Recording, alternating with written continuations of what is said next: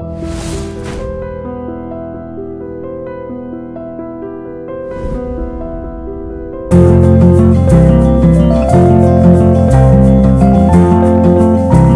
a Punjabi model from Mumbai.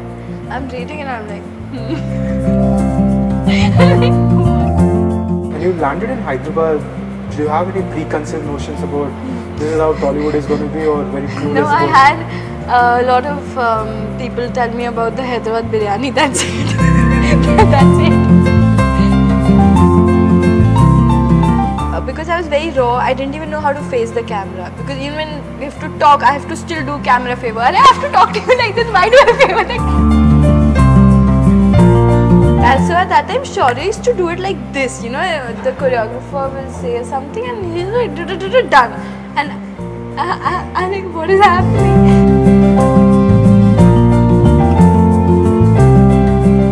For the fact this interview is happening for real, you're not. They're like, oh, please do it, don't ask more questions.